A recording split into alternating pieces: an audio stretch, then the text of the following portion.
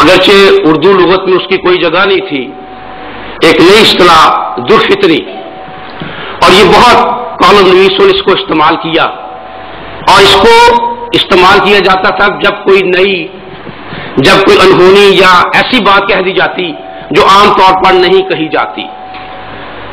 ये तेईस मार्च वसीयत योम पाकिस्तान। इस पर मैं भी एक दुर्फितरी छोड़ना चाहता हूँ। वो ये कि 23 मार्च को योम पाकिस्तान कहना मेरी इस बात पे शायद कुछ लोग इस तरह हैरान हो कि ये नई बात है और कुछ शायद ये कहें कि ये तो इसको नहीं मालूम, सब बाकी सब जानते हैं।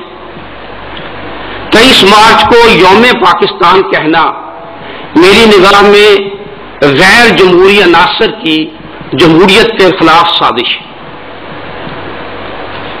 वो किस तरह? यहाँ डॉक्टर सफदर महमूद साहब तशरीफ़ फरमा है, जो तहरीक पाकिस्तान पर एक अथॉरिटी की हैसियत रखते हैं। यहाँ अकरम जकी साहब मौजूद हैं, जो मुस्लिम लीग, जो पुराने मुस्लिम लीगी हैं, बड़े हकीकी किस्म के मुस्लिम लीगी हैं। वो यकीन इस पर कुछ ना कुछ ज़रूर फरमाएँगे।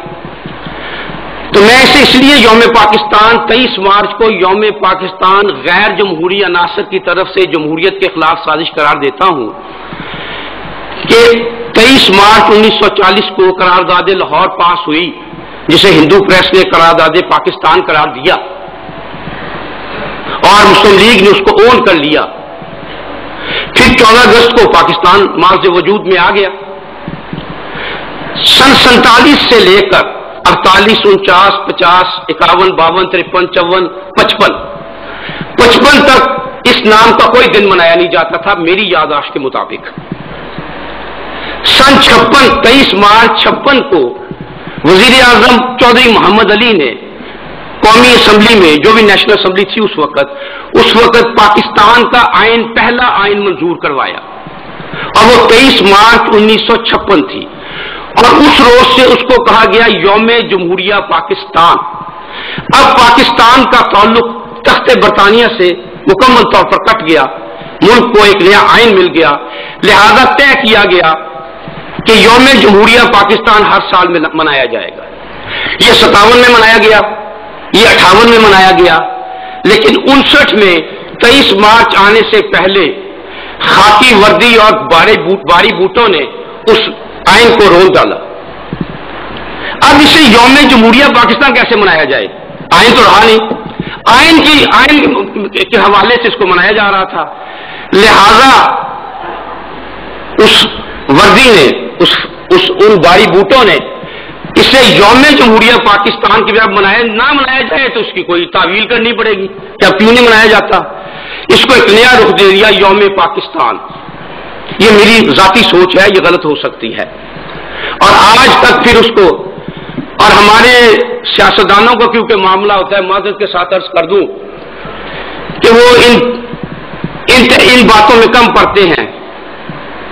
वो वोट के मामले में ज़्यादा हसास होते हैं लेकिन इन बारीकियों में, में क्योंकि वो कम पड़ते हैं। लिहाजा उन्होंने कभी तवज्जो नहीं दी हालाँकि उनकी तवज्जो करने का मामला था कि ये यौम जमहूरिया पाकिस्तान यौम पाकिस्तान कैसे बन गया। मैं खासतौर पर अर्ज़ करूँगा, अपने बाद आने वाले इलमी हजरात से कि उसके बारे में भी कुछ ना कुछ फरमाए। जहाँ तक हमारी आज़ादी हकीकत या शराब का ताल्लुक है, मेरी राय में तो ये ये शराब दूर से सीटों और सेंटों का रुकन बनते ही नज़र आने लगा था। लेकिन मैंने अपनी राय का इजहार, क्योंकि मैं अच्छा बुरा लिखारी होने का भी दावा करता हूँ तोहमत है मुझ पर तो मैंने एक फकाही ऐसा मजमून लिखा था पिछले दिनों जब बाजौर पर हमला हुआ और हम, हम अमेरिका ने हमारी इजाज़त बल्कि हमारी इतला के बगैर हमला किया तो मैंने उस, उसका उन्वान दिया था हक मफरत करे अजब आज़ाद मोहतरमा थी। तो उस पर मैंने और हमारे जो रसाले के इंचार्ज हैं उन्होंने उस पर लिख दिया आज़ादी बीबी की दास्तान। बहरहाल, वो मेरी राय उस मामले में सामने आ गई थी। अब मैं आपके दर और मुकर्रीन हजरात जिनको आप असलन सुनने आए हैं, उनके दरमियान ज़्यादा हायल नहीं रहूँगा। और गुफ्तगु के हवाले से मैं चाहूँगा कि फ़र्स्ट कम फ़र्स्ट सर्व का तरीका अपनाना चाहिए। मैं एक और अर्ज़ कर दूँ कि हमारा मुआशरा, ये जो भी मुआशरा, जब जवाल का शिकार होता है तो उसकी बहुत सी वजूहत होती हैं। लेकिन एक बहुत बड़ी वजह यह होती है, बड़ी मेन वजह यह होती है कि तहकीक करने वाले नापैद हो जाते हैं मुहक्कीन नापैद हो जाते हैं। मुआशरे के जवाल की एक बहुत बड़ी निशानी है और हमारा मुआशरा तो एक निशानी जवाल की भी एक एक चोटी इस वक्त है। लेकिन अभी कुछ लोग मौजूद हैं, तहरीक पाकिस्तान पर अथॉरिटी हैं। तहरीक पाकिस्तान पर उनकी तहकीक है। मैं दाव से खताब दे रहा हूँ। जनाब डॉक्टर सफदर महमूद साहब को तशीफ लाई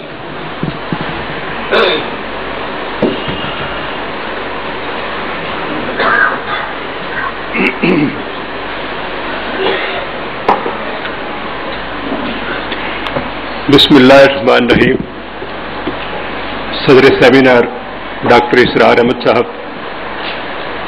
मेहमाना ने गरामी मुआज़ हजरात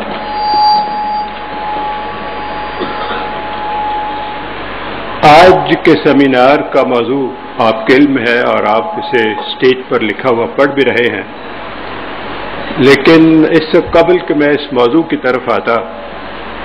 स्टेट सेक्रेटरी साहब ने एक ऐसी बात कह दी है जो बताते खुद एक तकरीर या एक मकाले या एक मजलिस का मौजू है। क्योंकि वक्त कम है और मैं अपने बाद आने वाले मुकर्रीन के रास्ते में हायल नहीं होना चाहता। इसलिए मैं मुख्तर तौर पर सिर्फ़ दो तीन फिक्रों में उनकी इस बात की वजाहत करूँगा, रहा इसका मुदल या तफसीली जवाब उसके लिए फिर किसी मौके पर उठा रखता हूँ।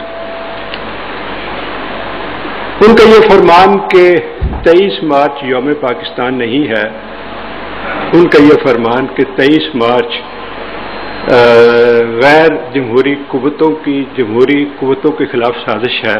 इसके दो हिस्से हैं। दूसरे हिस्से को उन, दूसरे हिस्से की उन्होंने वजाहत कर दी।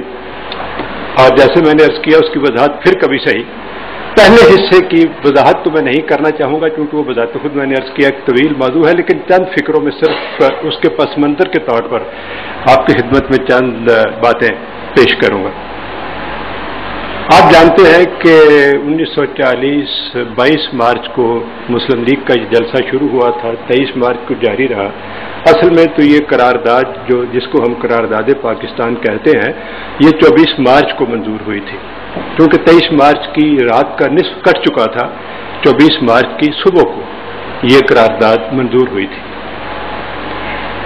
भी दुरुस्त है कि इस करारदाद में कहीं भी पाकिस्तान का लफ्ज इस्तेमाल नहीं हुआ था, लेकिन जब हिंदू प्रेस ने तंजन, अब ये तंजन से मुराद ये कि चूँकि 1933 में, जनवरी 1933 में चौधरी रहमत अली पाकिस्तान नव और नेवर के नाम से एक पंफलेट जारी कर चुके थे।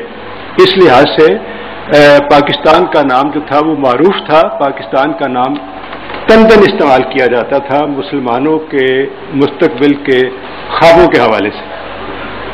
या मुसलमानों की एक मंजिल के हवाले से। चुनाचे हिंदू प्रेस ने इसे तंजन, पाकिस्तान रेजोल्यूशन का नाम दिया और काज आज़म ने काज आज़म रहमत ने इस मौके पर अच्छी बात कही। उन्होंने कहा कि हिंदू प्रेस ने मेरी मुश्किल आसान कर दी। जिस बात को मुझे समझाने में कई बरस लगने थे, वो उन्होंने एक दिन में समझा दी।